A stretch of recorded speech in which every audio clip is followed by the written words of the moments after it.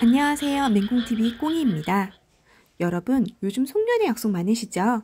시끌벅적한 느낌 나는 송년회도 좋지만 오랜만에 만난 지인들과 도란도란 조용히 얘기하고 싶을 때 딱 좋은 식당 도쿄 하나 송도점 소개해 드리려 합니다.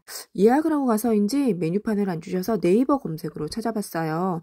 코스 요리가 여러 가지 준비되어 있어서 지인들과 만날 때도 좋지만 누군가를 대접할 때도 좋을 것 같아요. 점심 메뉴로 단품도 준비되어 있어서 가격 부담 없이 오실 수 있을 것 같아요. 저는 회사 찬스로 점심 특선 A 1인당 5만원 코스 예약했습니다. 예약한 자리로 가니 기본 세팅이 준비되어 있었어요.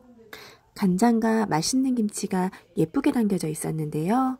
이 김치가 특히나 맛있어서 여러 번 입필해서 먹었어요. 첫 번째 음식으로 일식 계란찜, 차은무시가 나왔어요. 은행, 새우, 버섯도 들어있어서 씹는 맛도 좋고 이게 엄청 부드럽더라고요. 이 부드러운 느낌이 너무 좋았어요. 그리고 바로 다음 코스로 나온 제철 샐러드예요. 샐러드 야채들 모두 신선하고 소스 맛이 이제 무슨 소스인지 정말 궁금했는데 엄청 상큼상큼 맛있었습니다. 그리고 드디어 기다리던 일식 코스 요리의 꽃 회가 나왔어요.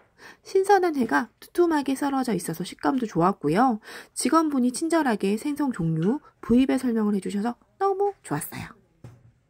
껍질을 뜨거운 물로 살짝 데쳐서 시간도 주시고요. 방어랑 방어 날개 부분, 앵가 부분이고요. 방어 준비해드렸습니다. 저기 방어 준비해드렸고요. 광어랑 광어 날개 부분. 그리고 김치랑 싸서 드셔도 맛이 좋으시고요. 네, 일본식 초회입니다. 관자랑 해초 국수예요. 이렇게 섞어서 드시면 새콤달콤하고 맛이 좋으시고요. 대포이과 대왕 오징어이고요. 참치 다닥기 그리고 청어 준비해드렸습니다. 맛있게 드십시오. 원래 제가 날 것을 안 좋아하거든요. 그래서 회를 즐기지 않는데도 모두 신선해서 맛있었고요. 해산물 중 타닥기, 대왕 오징어가 아주 맛있었어요.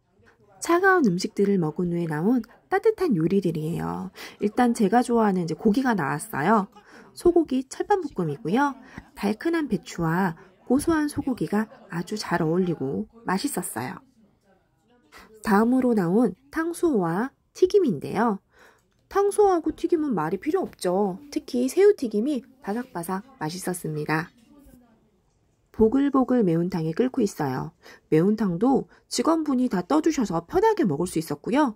제가 좋아하는 버섯하고 두부가 그득그득 많이 들어있어서 좋았어요.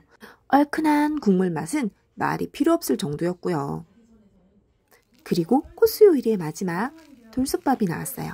배는 부르지만 한국인은 고기든 양식이든 일식이든 쌀밥을 먹어줘야 한 끼 든든하게 먹었다는 느낌이 나는 것 같아요. 회사 찬스로 송도 일식당 도쿄 하나에 오게 되었는데요. 건물 내 주차장에 시간 제한 없이 무료 주차도 가능하고 룸마다 직원분이 따로 계셔서 음식도 잘 챙겨주시고 서비스도 좋아서 회식이나 모임 장소로 좋을 것 같아요. 오늘 영상 좋으셨다면 구독, 좋아요, 알림 설정 부탁드리겠습니다.